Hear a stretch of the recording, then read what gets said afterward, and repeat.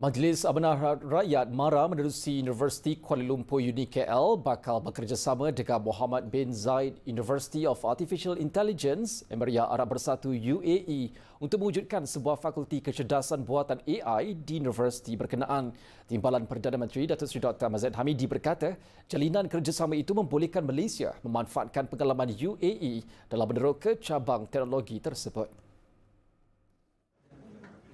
Datuk Seri Ahmad Zahid berkata kolaborasi itu juga bertepatan dengan reputasi Muhammad bin Zayed University of Artificial Intelligence sebagai universiti AI pertama di dunia.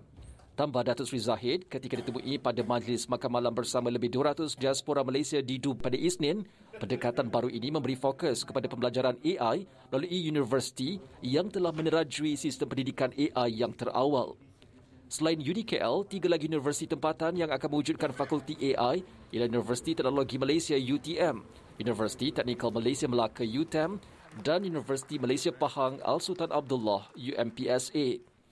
Sementara itu, Timbalan Perdana Menteri Datuk Seri Ahmad Zahid berkata, lebih 6,000 rakyat Malaysia yang menetap di Dubai amat dikagumi oleh kerajaan dan rakyat UAE kerana disiplin mereka serta sumbangan signifikan dalam projek pembangunan dan pembinaan infrastruktur di negara tersebut.